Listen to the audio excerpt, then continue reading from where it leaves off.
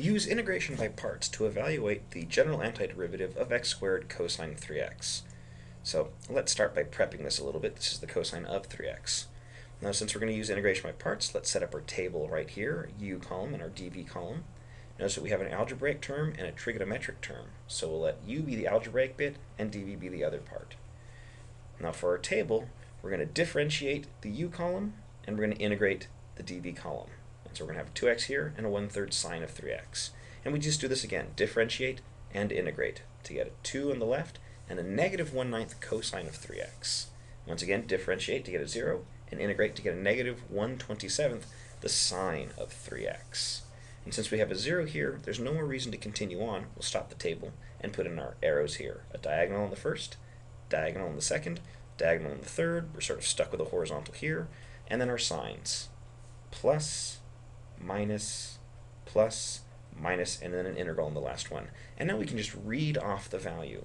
We're going to have uh, this is equal to positive x squared times one third the sine of 3x. Then we're going to have the next arrow, that's a negative arrow, negative 2x times negative 1 ninth the cosine of 3x. Now we read the third arrow off, that's a positive arrow, so plus 2 times negative 1 27th, the sine of 3x. And then we'll read off that last arrow. That's a negative integral of 0 times stuff. So now let's just clean these things up. We're going to have a 1 third x squared times the sine of 3x. The next term we have a negative negative, so positive 2 ninths x times the cosine, oops, sorry, that cosine of 3x.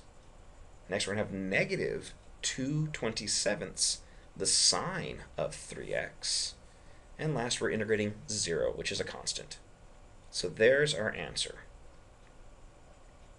It's worth pointing out that, in the, like in the other examples, we could pull out the biggest denominator, a 127th, and be left with uh, 9x squared times the sine of 3x plus 2 times 3, or 6x times the cosine of 3x negative 2 sine of 3x.